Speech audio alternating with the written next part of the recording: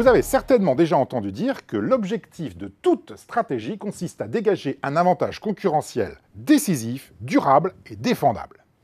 L'obtention d'un avantage concurrentiel est ainsi généralement présentée comme le but ultime de la stratégie d'entreprise. Mais comment savoir si votre entreprise possède effectivement un avantage concurrentiel? Et, qu'est-ce que c'est vraiment qu'un avantage concurrentiel? Alors vous pourriez penser que votre avantage concurrentiel se mesure par votre part de marché, après tout, c'est bien votre part de marché qui semble indiquer votre succès par rapport à vos concurrents. Or, en stratégie, la part de marché n'est pas un indicateur pertinent.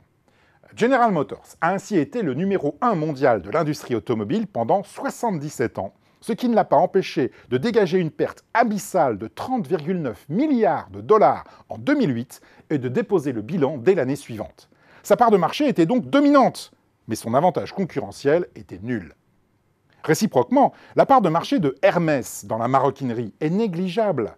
Mais cela n'empêche pas de dégager une marge opérationnelle supérieure à 30%, soit près du double de celle de LVMH, qui est pourtant 7 fois plus gros.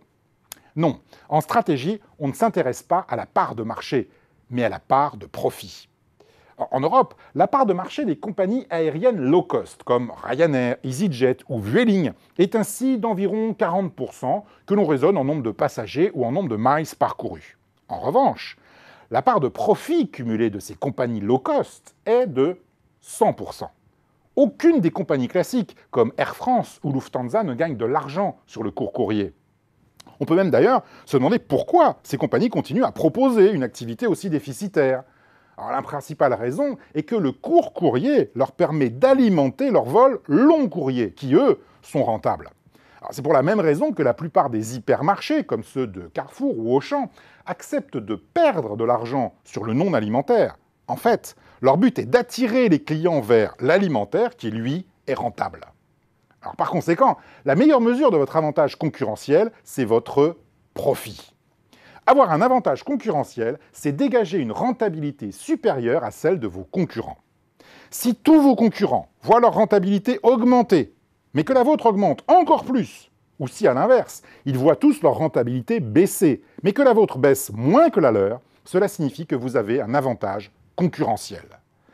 L'objectif de toute stratégie est la création de richesse. Et vous pouvez considérer que votre stratégie est gagnante si elle crée plus de richesse que celle de vos concurrents. Votre avantage concurrentiel se définit donc comme votre capacité à dégager une rentabilité durablement supérieure à celle de vos concurrents.